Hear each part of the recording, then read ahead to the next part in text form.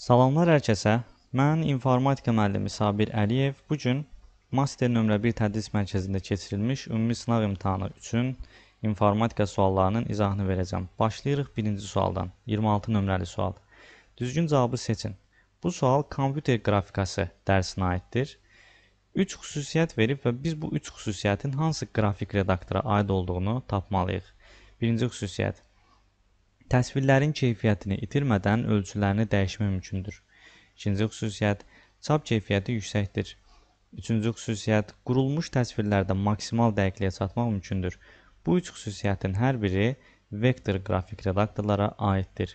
Beləliklə cavabımız E variantı. Növbəti sual. Neyman arxitekturalı kompüterin mərkəzi hissəsinə aid deyil. Aşağıdakı şəkildə Neymana görə kompüterin məntiqi strukturunu göstərmişəm. Neymana görə kompüterin məntiqi strukturu mərkəzi hissədən, periferiya hissədən və onları əlaqələndirən sistem interfeysindən ibarətdir. Mərkəzi hissəni isə qırmızı çərçivə ilə qeyd etmişəm. Mərkəzi hissəyə aiddir mikroprosesor və daxili yaddaş. Mikroprosesor idarəetmə qurğusu və hesab məntiq qurğusundan ibarətdir daxili yaddaş isə əməli yaddaş və daimi yaddaşdan. Beləliklə, e, yenidən suala qayıtsaq görərik ki, kompüterin e, mərkəzi hissəsinə aid olmayan sistem interfeysidir. Sistem interfeysi yalnız mərkəzi və periferi hissəni əlaqələndirən bir vasitədir. Növbəti sual 28. Cədvəldə ASCII kod cədvəlindən bir hissə verilmişdir. Çap olunacaq simvolun kiçik hərfinin 16-lıq kodunu bizdən istəyir. Bu sual alqoritm və say sistemlərinin qarışığı bir sualdır. Və bu sualı həll etmək üçün iki mərhələdən istifadə edəcəyik.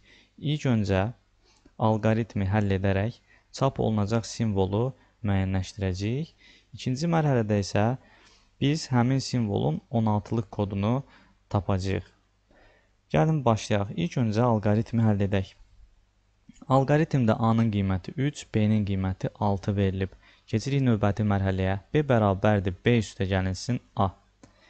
B-nin qiyməti 6, A-nın qiyməti 3-dür. Topladıqda 9 verir. B-nin yeni qiyməti 9-dur. Daha sonra A-nın qiymətinə gəlin baxaq. A üstə gəlinsin B. A-nın qiyməti 3, B-nin yeni qiymətindən istifadə etməliyik, yəni 9-dan. Artıq biz B-nin köhnə qiymətindən istifadə etməməliyik. Bir çox tələbələr bəzən bunu unudur. E, B-nin yeni qiymətindən istifadə etdik. 3 üstə gəlinsin 9 bizə 12 verdi. Daha sonra alqoritmi davam elətdiririk. Rompda bizdən soruşur ki, A-nın qiyməti B-dən kiçik bərabərdirmi? A-nın qiyməti 12, B-nin qiyməti 9-dur. E, bu səbəbdən mən yox deyirəm. E, yəni A B-dən kiçik bərabər deyil. Yox qolu ilə getdikdə isə S hərfi çap olunur. Bizdən çap olunacaq simvolun, yəni S-in kiçik hərfini istəyir, kiçik versiyasını istəyir. Yəni kiçik S istəyir. Bu S-in 16-lıq kodunu tapmağımızı istəyir. İndi isə qalxırıq yuxarıdakı cədvələ. E, yuxarıdakı cədvəldə S hərfinə ən yaxın hərfi tapmalıyıq. Bu hərf R hərfidir. Təbii ki, söhbət hələ ki, böyük S-dən gedir. E, əlifbada böyük S hərfi, e, böyük S hərfi R hərfindən e, sonra gəlir. Bu məntiqlə R əgər 82-dirsə, S avtomatik 83 olmuş olur. E, yəni biz hal-hazırda e, bu hərflərin onluq kodlarını görmüş oluruq. Yəni e, böyük R-in onluq kodu 82-dirsə, böyük S-in onluq kodu 83 olur. Yaxşı, çox gözəl. Bəs Bizdən hələ ki e, böyük S-i soruşmur, kiçik S-i soruşur. Biz isə böyük S-i hələ ki tapmışıq. Bəs kiçik S-i necə tapacam? Kiçik S-i tapmaq üçün biz Amerikan standartı kod cədvəlinə baxmalıyıq və bu kod cədvəlində sizə iki qızıl qayda deyəcəm. Diqqətlə qulaq asın. Hal-hazırda Amerikan standartı kod cədvəlini görürük. Burada 256 simvolun kodu var. E, indi gəldik bizə lazım olan hissəyə. E, bax burada hərflər e, 65-dən etibarən başlayır və birinci qayda yadımızda saxlamalıyıq. İlk öncə böyük hərflər gəlir. E, və böyük hərflər 65-dən etibarən başlayır. Daha sonra E, gəlin bir şeyə fikir verək. Bax, böyük e, A-nın hal-hazırda biz onluq kodlarını görürük. Burada mən onluq kodları qeyd, qeyd etmişəm. Böyük A-nın onluq kodu 65-dir. E, daha sonra biz gəlin kiçik A-nın koduna baxaq. Biz dedik ki, e, Amerikan standartı cədvəlində ilk öncə böyük hərflər, sonra e, kiçik hərflər gəlir. E, böyük hərfin kodu 65, kiçik A-nın kodu isə 97-dir. Aradakı fərqə baxaq. Aradakı fərqə baxsaq görərik ki, e, kiçik A böyük A-dan 32 vayt böyükdür. 1.65, 1.97, 32 vayt aralarında fərq var. Gəlin başqa hərfləri də yoxlayaq. Məsəl üçün böyük M və kiçik M. Böyük M-in kodu 77, kiçik M-in kodu 109-dur. Bunların arasındakı məsafə də e, yenə 32-dir. İkinci qızıl qaydamız. Amerikan standartı cədvəlində böyük və kiçik hərflər arasındakı məsafə 32 olur. İndi isə bu qaydaları misalımıza tətbiq eləyək. Qaydıram misala. Misalda mən böyük S-in onluq kodunu tapmışdım 83. Biraz əvvəl müəyyənləşdirdim ki, e, kiçik hərflər böyük hərflərdən sonra gəlir və böyük hərfin kodu 83-dürsə e, əgər kiçik hərf 83 üstə gəlsin 32 yəni 115 olmalıdır. E, beləliklə mən kiçik s-in e, onluq kodunu tapmış oldum. Amma bizdən 16-lıq kod istəyir. Bu səbəbdən 115-i, onluqda olan 115-i 16-lıq say sisteminə çevirməliyəm. 115-i bölürəm 16-ya, 7 dəfə düşür. 7 dəfə 16 112, 3 isə qalıqdır və beləliklə mən tapıram ki, 115-in e, 16-lıq kodu 73-dür. Və beləliklə kiçik s-in 16-lıq kodunu tapmış olduq. Cavab olur 73. Burada yadımızda saxlamalı olduğumuz iki əsas qaydanı bir daha desəm, deməli cədvəl Amerikan standartı cədvəlində böyük hərflər kiçik hərflərdən əvvəl gəlir. Bu bir. Kiçik hərflərin onluq kodu böyükdən 32 vahid çox olur. Bu iki qaydanı bilsək, Bu tip bütün suallara cavab vermək mümkündür. Növbəti sual. Oxla göstərilmiş düyməni hansı klaviatura kombinasiyası ilə açmaq mümkündür deyə bir sual verir. Oxla biz Cortana'nı göstərmişik. Cortana e, iş masasının aşağı hissəsində yerləşən tapşırıqlar panelinin üzərindədir. Və Cortana'nı açmaq üçün biz belə bir klaviatura kombinasiyasından istifadə edirik. İndi göstərəcəm sizə Windows və C-dən. Windows və C-ni vuran kimi Cortana açılır. Cortana e, səsli rəqəmsal bələdçidir. Cortana-nın köməyi ilə mikrofondan daxil edilən e, əmrlərlə biz kompüterimizi idarə edə bilərik. Müəyyən bir veb sayta daxil ola bilərik. Məlumat axtarışını həyata keçirə bilərik. Hər hansı bir proqramı aça bilərik. Deməli, Cortana-nın düyməsi nə olmuş oldu?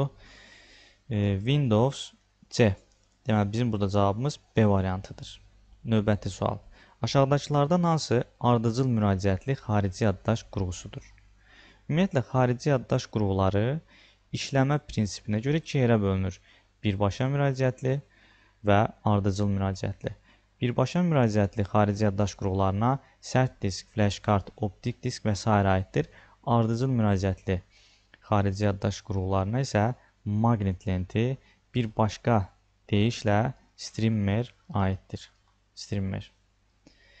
E, buradan məlum olur ki, bizim cavabımız Y variantıdır. Bəs nəyə görə streamer ardıcıl müraciətli xarici yaddaş qurğusudur? Streamer deyəndə söhbət kasetdən gedir. Tutaq ki, kasetdə hər hansı bir mahnıya qulaq asmaq istəyirik və qulaq asmaq istədiyimiz mahnı e, bu kasetin A bölümündə yerləşir. Bu da olsun B. İndi A-dakı hissəyə çatmaq üçün mən gərək bu kaseti ardıcıl formada yığdırım. E, bu səbəbdən biz buradakı məlumatı oxumaq üçün e, kaseti yığdırmalıyıq ardıcıl sürətdə. Ona görə də biz bu qurğuya ardıcıl müraciətli qurğu deyirik, xarici yaddaş qurğusu deyirik. E, amma digər qurğularda, məsəl üçün flash kartı bir düşünün. Flash kartınızın içərisində çoxlu sayda musiqi var.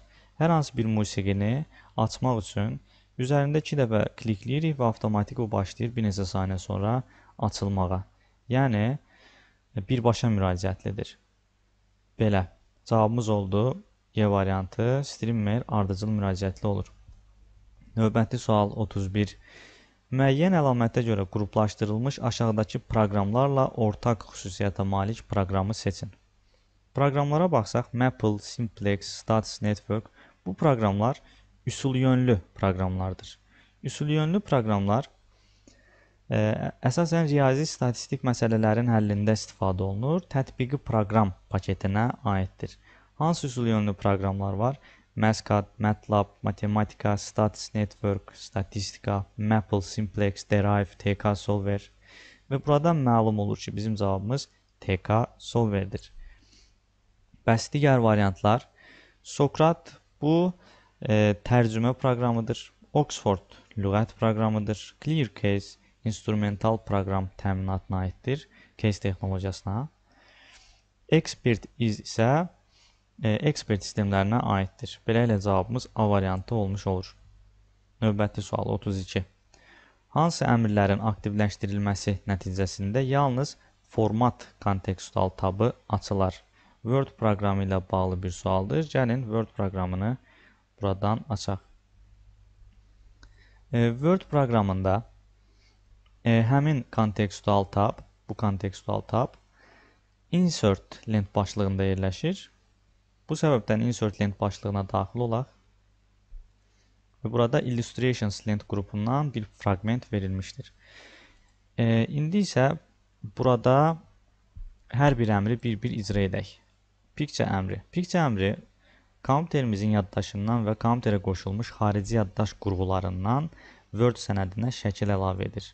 Məsəl üçün kompüterimin yaddaşından belə bir şəkil əlavə edirəm və format lent başlığı açılır.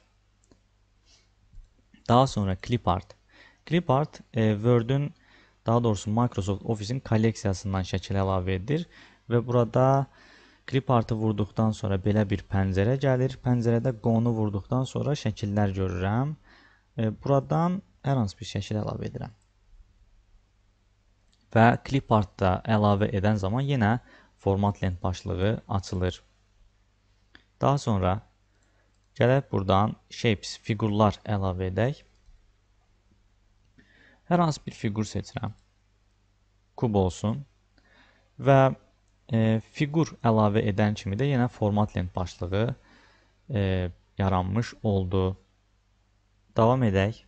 Insert-ün içərisində növbəti Smart Art, fiqur sxemlər əlavə edirəm.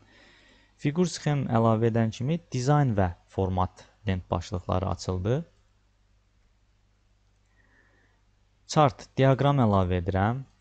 Diaqram əlavə edərkən Excel proqramı işə düşür. Ümumiyyətlə diaqram əlavə edərkən OLE texnologiyasından istifadə olunur. Excel-ə xas diaqramlar Word-də açılır. E, bəs diaqram əlavə edərkən nə baş verdi?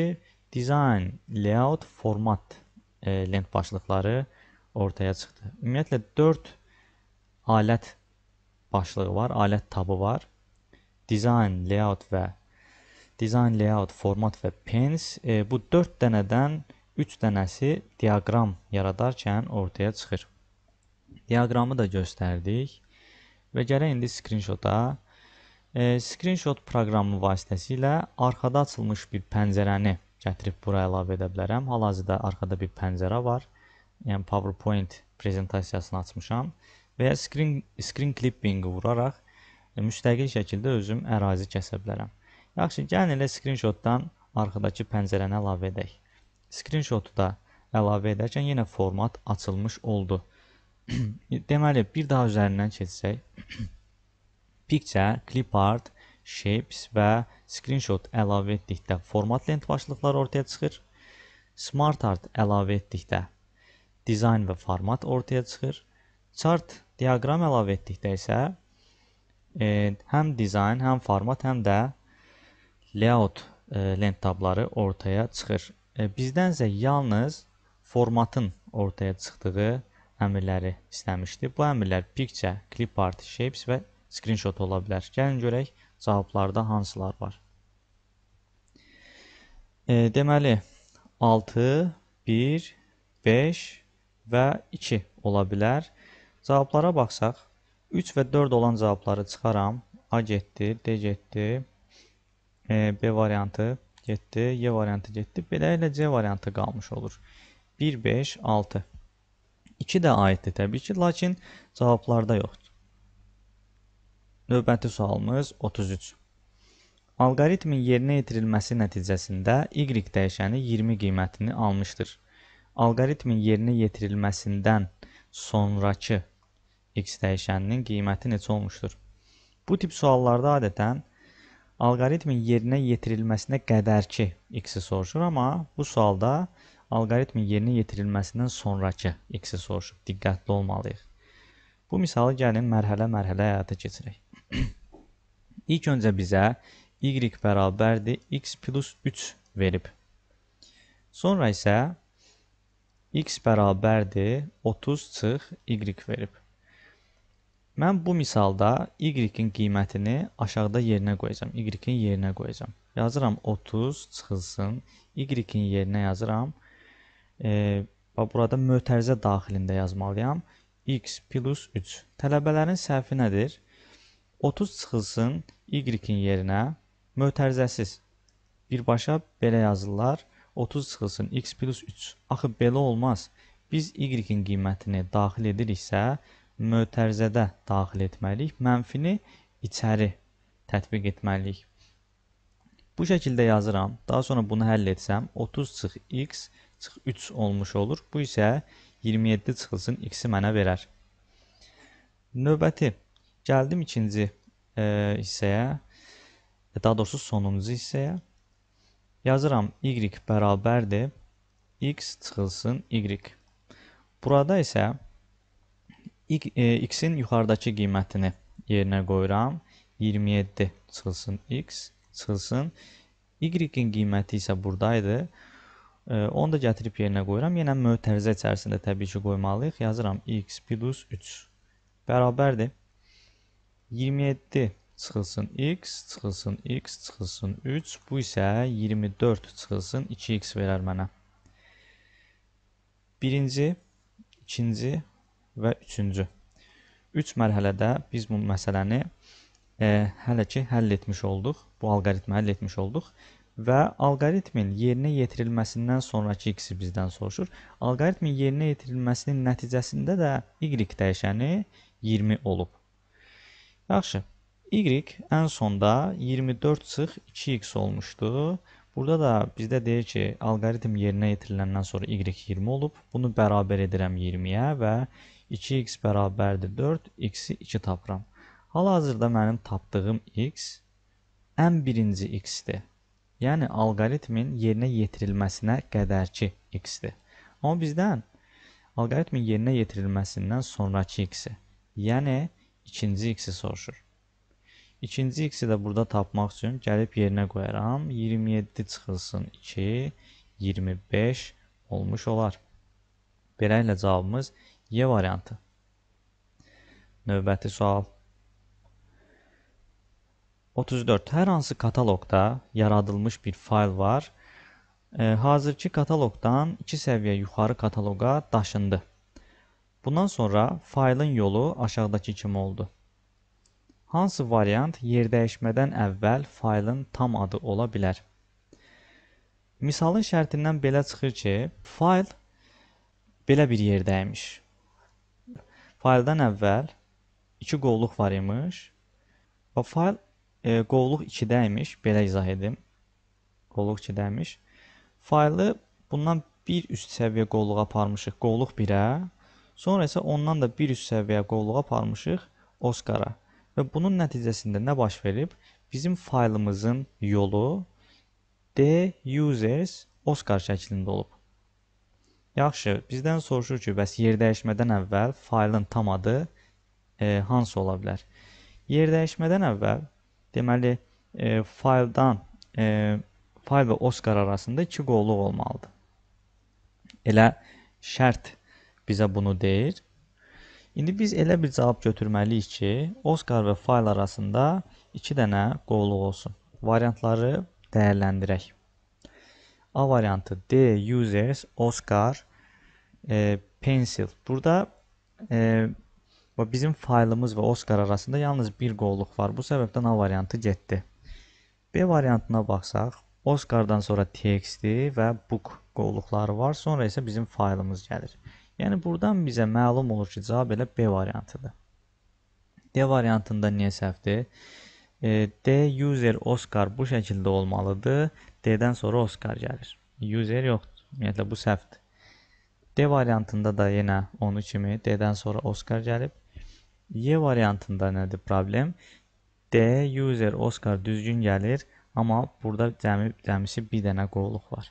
Bu səbəbdən Y də səhvdir. Və bizim cavabımız B olmuş olur. 35-ci sual. Kursorun dayandığı mövqedən sətrin əvvəlinə qədər seçmək üçün hansı düymədən istifadə olunur? Word-a aiddir. Bu səbəbdən Word proqram pəncərəsini açıram və müəyyən bir mətn fraqmenti formalaşdırıram. Kursorun e, dayandığı yerdən, kur, kursor tutaq ki, burada dayanıb, sətrin əvvəlinə qədər seçməliyəm. Hansı düymə kombinasiyasından istifadə edə bilərəm? E, ekran klaviaturasını gətirim.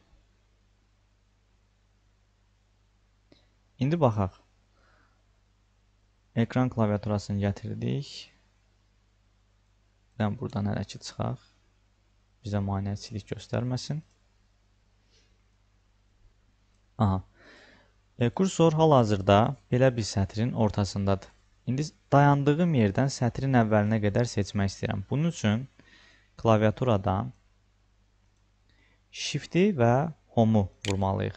Nəticədə Shift Home bizi dayandığımız yerdən sətrin əvvəlinə qədər seçər. Və belə. Bunu da qeyd etdik e, cavabımız oldu Shift və Home.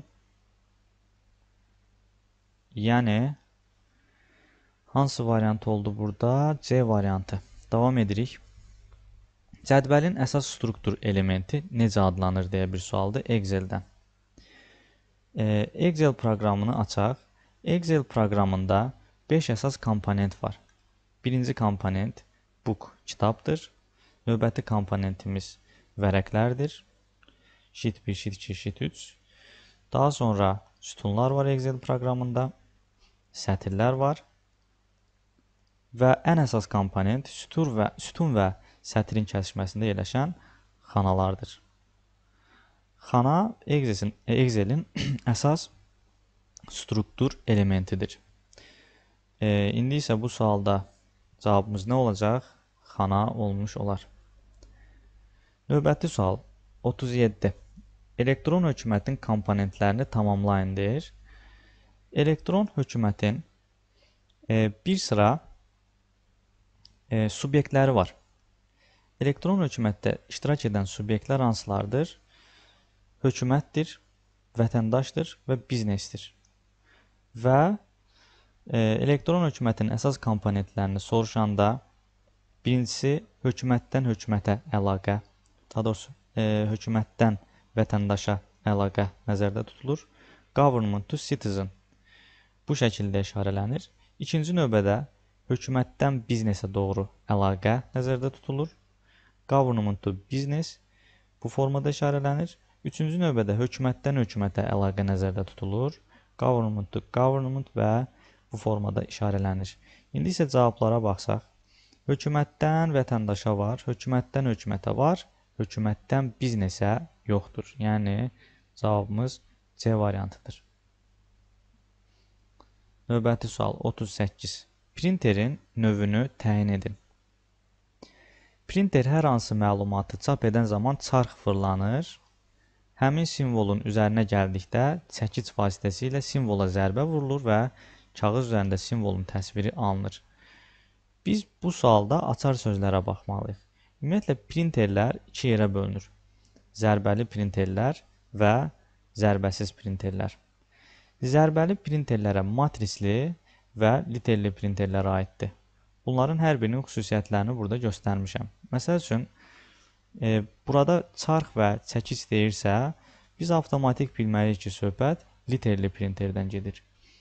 Məsəl üçün, gürültülü işləmə, zəif çap sürəti filan desəydi, e, dövlət və dövlət idarələrində, banklarda istifadə olunur, iynələrə əsaslanır desəydi, matrisli deyərdik.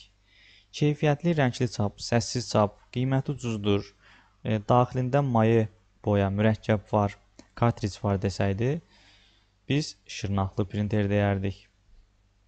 Etibarlı və sürətlidir, qiyməti bahadır, daxilində toz şəklində boya var, paraban var, toner var desəydi, deyərdik lazer printer. Termiki printerin xarakteri xüsusiyyətləri isə burada e, çapın istilik hesabına getməsi, barkodları çap etməsi və termohəssas örtüyə malik olmasıdır. Və bu açar sözlərdən yola çıxaraq biz printerləri tapa bilərik. Çarx və çəkic dediyinə görə söhbət literli printerdən gedəcək. Cavabımız oldu C variantı. Növbəti sual. Detektor barədə yazılanlardan hansı düzgündür? Detektor antivirusun bir növüdür. Gəlin antiviruslara baxaq burada. Fəaliyyətlərindən asılı olaraq antivirusların bir neçə sinifinə gəlin baxaq. Filtrlər rezident proqram olmaqla təhlükəli əməliyyatlara nəzarət edir. Detektorlar əməli yaddaşda və xarici qurğularda yalnız onlara məlum virusların axtarışını təmin edir. Həkim proqramlar, antivirus proqramlar virusların aşkar edilməsinə və zərərsizləşdirilməsinə imkan verir. Müfəttiş proqramlar proqramların, kataloqların, faylların və sistem e, sahələrinin məzmununu yadda saxlamaqla cari vəziyyətlə ilkin vəziyyəti müqayisə edir. Vaksinlər və yaxud immunizatorlar isə rezident proqram olmaqla bir çox virusları vaksinləşdirmə yolu ilə yoluxmanın qarşısını alır. Beləliklə buradan bizə məlum olur ki, e, cavabımız eləməz B variantıdır. Detektorlar əməli yaddaşda və xarici qurğularda yalnız onlara məlum virusları axtarıb tapır. Növbəti sualımız 40. Aşağıda verilmiş elektron cədvəl fraqmentlərinə əsasən asılı xanaların sayını müəyyən edin. Excel proqramında bunu göstərməzdən əvvəl qeyd edim ki, asılı xanaların daxilində düsturlar olur və bu düsturlara görə digər xanalardan asılı olurlar. Məsəl üçün, Excel proqramında göstərək. Və burada sarı xana var. Gəlin bu sarı xananı bu iki xanadan asılı vəziyyətə gətirək. Bunun üçün onun içərisində düstur yazmalıyam. Yazıram bərabərdir.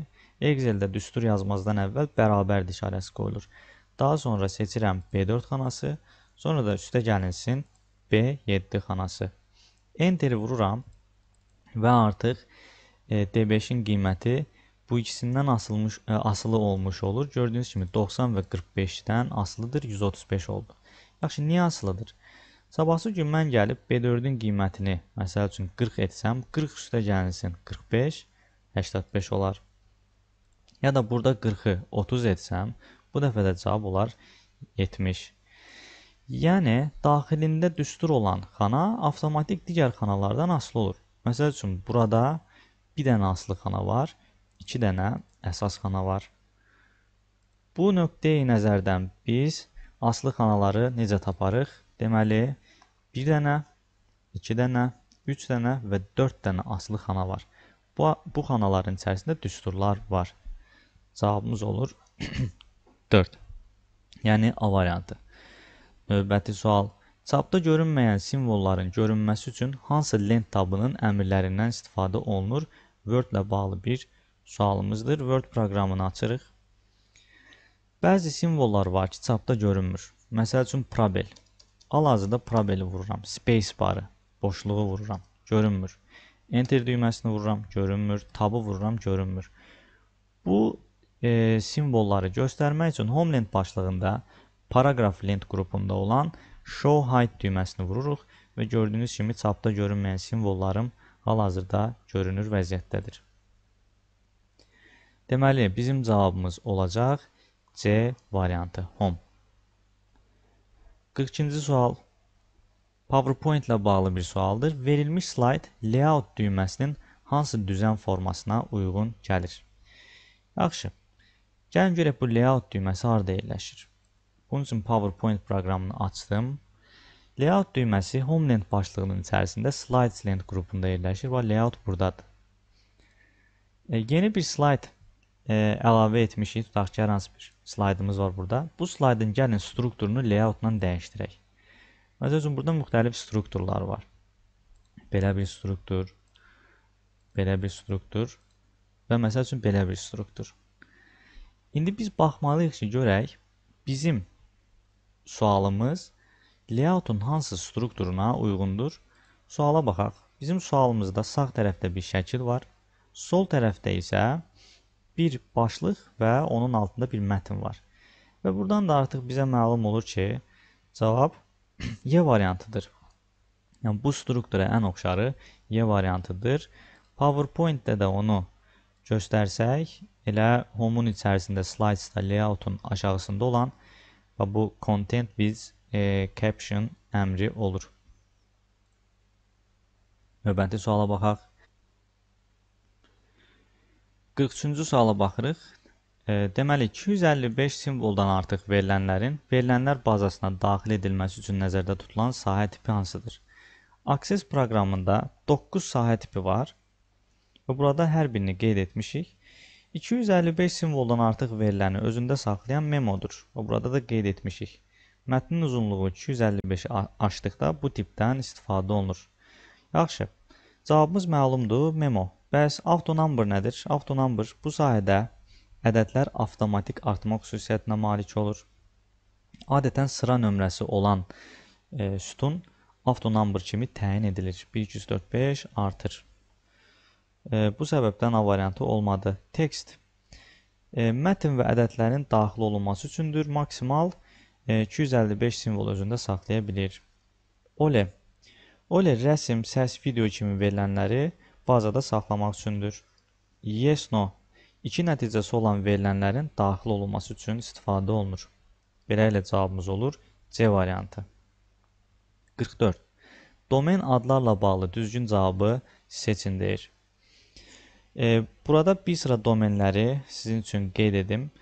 E, İsveçrənin domeni bax burada CH-dir.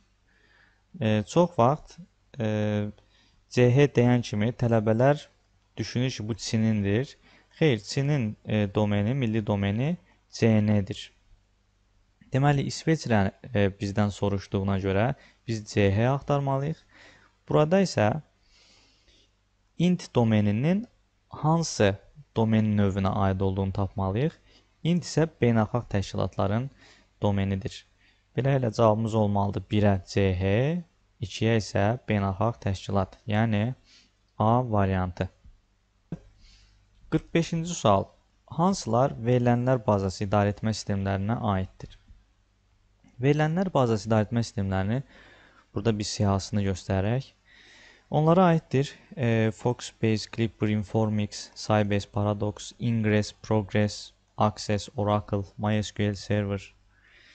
Və buradan da bizə məlum olur ki, cavabımız Oracle, Clipper və Paradox-dur. Verilənlər bazası idarəetmə sistemləri böyük verilənlər bazaları üzərində e, işi asanlaşdırmaq, daha səmərəli etmək üçün istifadə olunur. Bu tip proqramlar adətən böyük e, supermarketlərdə, hipermarketlərdə falan istifadə olunur. Növbəti sualımız 46. Verilmiş təsvirdə daxili sütunlardakı xanalar 3 KB, digər xanalar 6 KB-dir. Nə deməkdir bu? Hal-hazırda daxili sütunları göstərirəm. Daxili sütunlarda 10 dənə xana var və onların hər biri 3 kilobaytdır. Deməli, 10 dənə 3 kilobaytlıq xana 30 kilobayt yaddaşa malikdir. Və buradakı xanalar 30 kilobayt ümumi yaddaşa malikdir. E, daxili xanalar e, 3 kilobaytdırsa, e, digər xanalar 6 kilobayt olmuş olur. Bəs digər xanalar hansılardır? Bu kənarda qeyd etdiklərim. Onların da sayı 10-dur. Onların da hər biri 6 kilobaytdır deyə onu vuraram 6-ya, 60 kilobayt edər.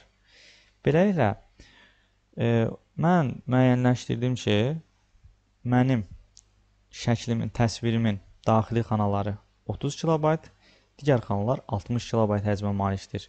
Beləliklə şəkil yaddaşda 90 kilobayt yer tutmuş olur. Şəklin yaddaşı 90 kilobaytdır. Amma bizdən təsvirin şəklin diskdə tutduğu yaddaşı soruşur. Diskdə tutduğu yaddaşı və həmin yaddaşın neçə sektordan ibarət olduğunu soruşur. Bizim şəklimizin yaddaşı 90 kilobaytdırsa, bu şəkil diskdə e, nə qədər yer tutar? Hər hansı bir şəklin, hər hansı bir faylın diskdə tutduğu yaddaşı tapmaq üçün biz klasterlərə baxmalıyıq. Klasterlər faylların yerləşdiyi qablardır. Yəni gəlin bu faylı 90 kiloqramlıq bir e, bir alma kimi gəlin düşünək. 90 kiloqramlıq alma. İndi bizdən soruşulur ki, biz onu neçə dənə 4 kiloqramlıq qutulara yığa bilərik. Bax, fayl və klaster arasındakı münasibət e, neçə kiloqramlıq meyvə ilə onun yığıldığı qutu arasındakı münasibətə bənzərdir. 90 kiloqramlıq meyvəni biz e, neçə kiloqramlıq, daha doğrusu 4 kiloqramlıq neçə dənə qutuya yığa bilərik? 90-ı bölərəm 4-ə və burada mən taparam ki, 22 dənə qutu, amma 2 kiloqram mənim meyvəmdən artıq qalar. Mən o 2 kiloqramlıq meyvəni də kənarda qoya bilmirəm. Bir dənə də 4 kiloqramlıq qutu götürürəm və totalda mənə 23 dənə qutu lazım gəlir. Bu da nə deməkdir? Deməli 90 kilo, e, kilobaytlıq faylı mən 4 kilobaytlıq klasterlərə yerləşdirəndə mənə 23 dənə klaster lazım gələcək. 23 klaster. Yaxşı, bəs bu 23 klaster yaddaşda nə qədər yer tutur?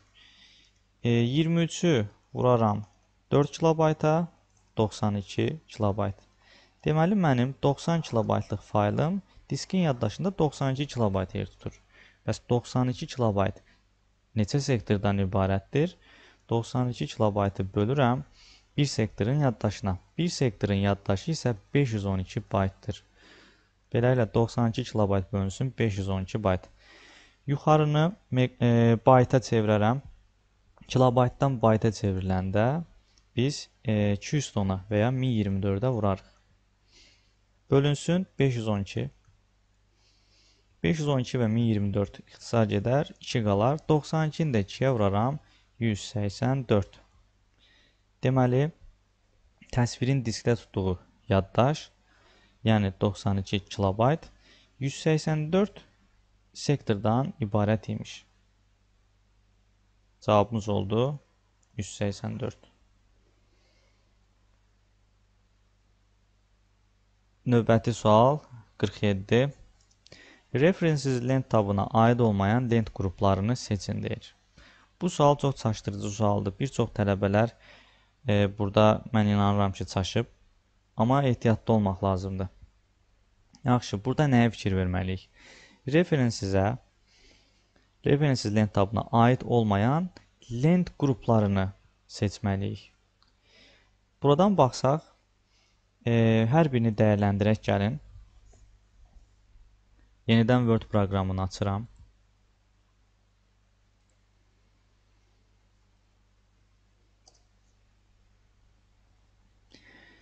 İlk öncə burada qeyd olunub links.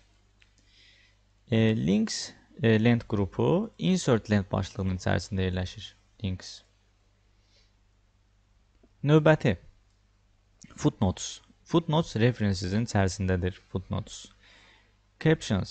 Captions elə o da e, referencesin içərisindədir. Captions lent qrupu. Comments. Comments isə review'nun içərisindədir. Comments. Və burada görə bilərik. Table of Contents references'in içərisindədir. Table of Contents. Bir də burada qeyd olunub track changes. Track changes lent qrupu deyil.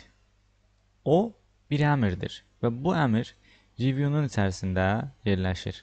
Tracking adlı lent qrupunda yerləşir. Amma o bir əmrdir.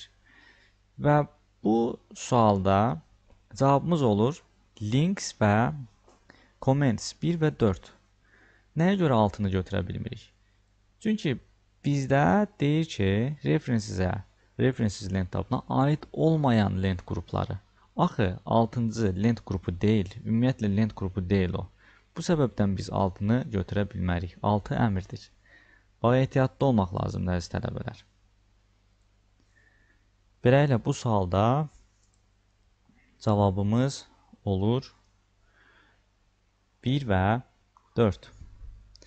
Növbəti sual 48. Alqoritmin xassələrini istəyir. Alqoritmin 4 xassəsi var. Müəyyənlik, diskretlik, kütləvilik və nəticəvilik. Buradan isə bizə məlum olur ki, cavabımız kütləvilik və müəyyənlikdir. 2, 4-dür. Yaxşı, obyektivlik nədir? Obyektivlik informasiyanın xassəsidir. Dövrilik alqoritmin növüdür. Aktuallıq informasiyanın xassəsidir.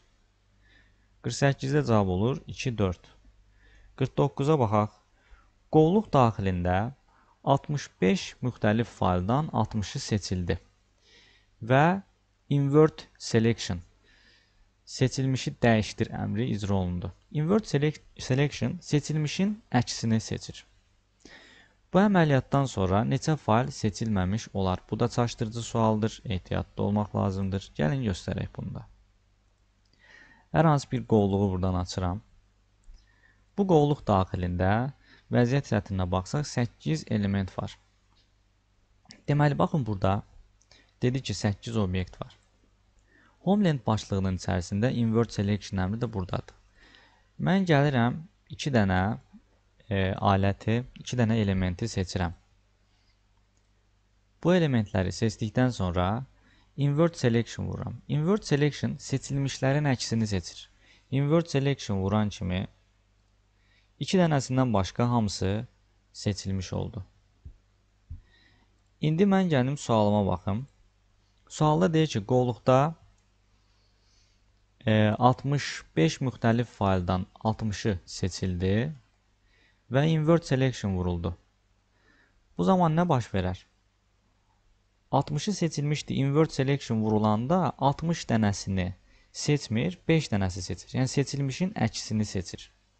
O zaman elə neçə dənəsi seçilməmiş olur? Elə 60 dənəsi seçilməmiş olur. Cavab olur 60. 50-ci sual. 50-ci sualda vəziyyət nə yerdədir?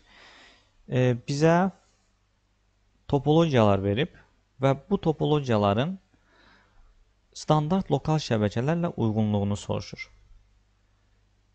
ArcNet texnologiyasında adətən ulduz topologiyası istifadə olunur. Token ring texnologiyasında adətən halqa topologiyası istifadə olunur. FTDI. FTDI texnologiyası isə adətən iki qat halqa topologiyasında istifadə olunur. Və ya FTDI iki qat halqadan ibarətdir də deyə bilərik. Və Ethernet. Ethernet texnologiyası isə şin topologiyasında istifadə olunur. İndi isə cavablara baxsaq, deməli 1-ə uyğundur Ethernet, 1-ə D. 2-yə uyğundur. E, ArcNet, yəni A. Ola bilsin ki, tələbələrin bir qismi Y variantını yazıb. Star 25 adlı bir standart lokal şəbəkə texnologiyası yoxdur. Sadəcə çaşdırma xarakterli verilib. Daha sonra üçüncüyə baxsaq, üçüncüdə halqavari topologiya qeyd olunub. Bu isə bu topologiyada istifadə olunan texnologiya isə token ringdir.